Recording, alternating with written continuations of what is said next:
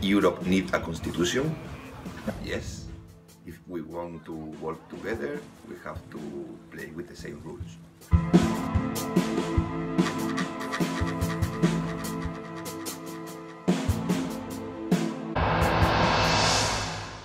What does solidarity mean to you? Solidarity is people working together for a common purpose.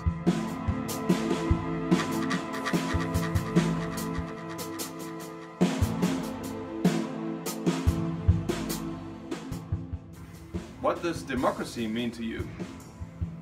Democracy means to meet up for long, bothersome, irritating meetings to find together the best results.